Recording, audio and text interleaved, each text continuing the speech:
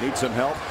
Fills up the lane as Williams and marvelous Marvin bails out Millsap with the hammer.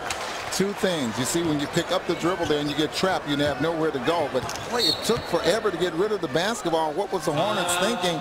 And all of a sudden, Marvin Williams comes down the middle of the floor, and you see why, Monty. Williams is calling a timeout now. I mean, that should not have happened. A 10-3 run for the Utah Jazz, and just when he thought the Jazz were going to be a force to turn it over, Millsap battles. Marvin Williams helps him out and flies down the paint for the hammer, and the Jazz now own a 51-42 lead. Nice trap.